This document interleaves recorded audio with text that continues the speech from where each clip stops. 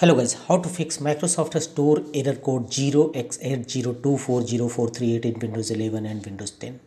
And to fix this error code, open Windows Settings app, go to Privacy and Security, click Windows Security and open Firewall and Network Protection. Here, go to the domain network and turn off Microsoft Defender Firewall. Same for both network, private network and public network. You should disable Windows Microsoft uh, Defender firewall for all the three categories. Same go to public network and disable uh, Microsoft Defender firewall and check whether your issue is resolved or not. If not, go to the next method right click on a start button go to windows search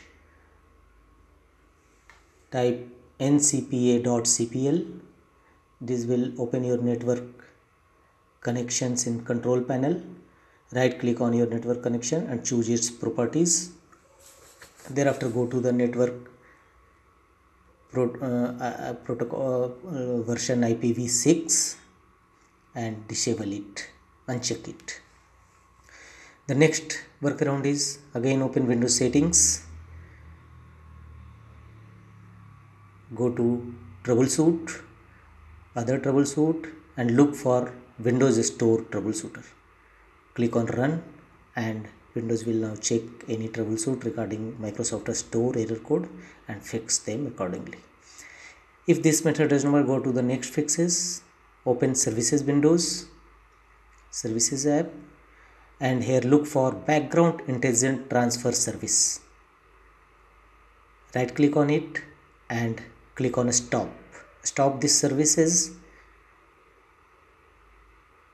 Once the services is stopped go to file explorer.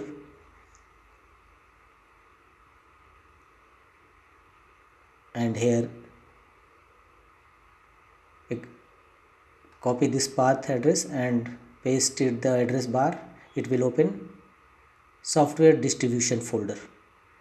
Here select all these files and folders in software dis distribution folder and delete it.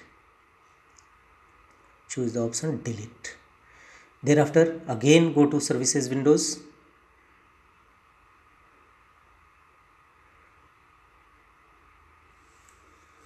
and recently you have stopped the service background intelligent transfer now start it. And check whether error microsoft store error code resolved or not. Hopefully it will resolve if not then go to the next fixes. Open command prompt windows as administrator mode. Click on run as administrator. And here execute network reset 3 command you should execute in command prompt windows one by one. Press enter after each time. Same procedure execute these both two commands also. The next method is micro reset microsoft store.